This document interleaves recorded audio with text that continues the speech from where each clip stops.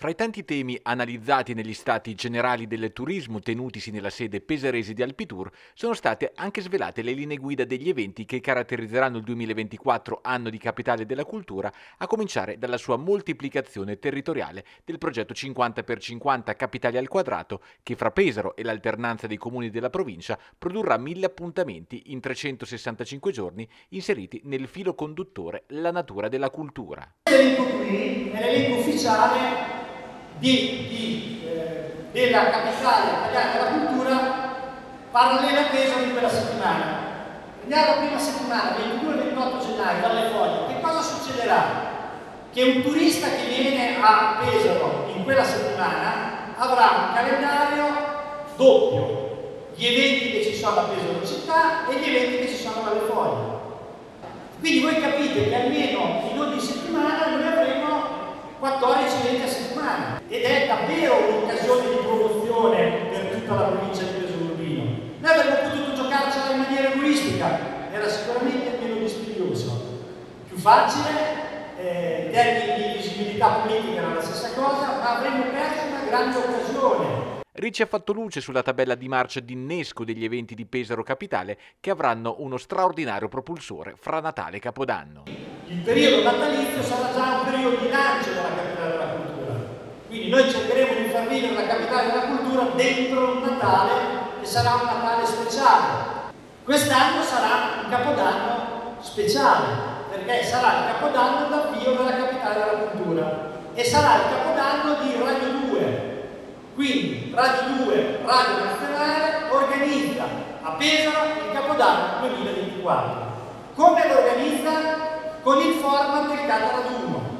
Tant'è che Vini l'ha già nominato Cata Capodanno. Quindi lo staff del Cataraduno, la trasmissione di Caterpillar, organizzerà insieme a noi un Capodanno speciale, alternativo a altri Capodanni, diciamo più nazionali popolari, diciamo così. Il nostro sarà comunque nazionale popolare, più culturale.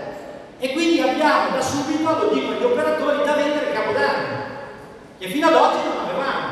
Sarà un grande e sarà l'avvio ufficiale, il primo avvio ufficiale della capitale italiana della cultura. Secondo, abbiamo fissato con il Presidente Mattarella la data della cerimonia inaugurale e sarà sabato 20 gennaio.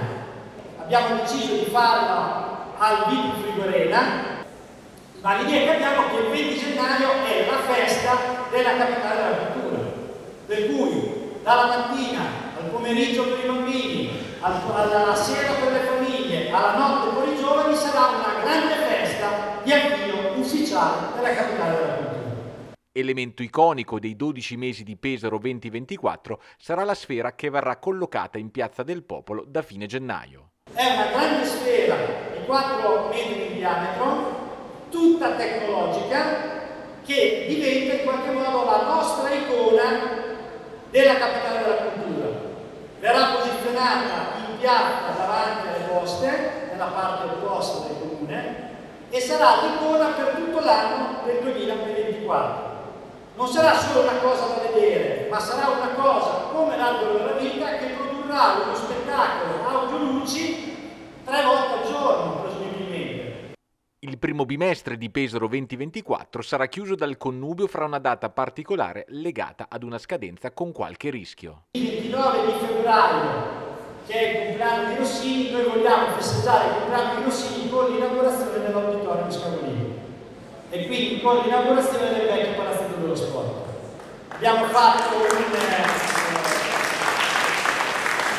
chiuso della situazione con le imprese, imprese anche in questi giorni, i lavori stanno andando avanti, ovviamente c'è da incrociare le dita, però io do la data dell'inaugurazione in modo tale che da Pozzi a Severini, a Zolfanelli, a, a come si chiama l'altro? Gambini, che i lavori, fino all'ultimo dei nostri dipendenti, sanno che il 29 di febbraio si inaugura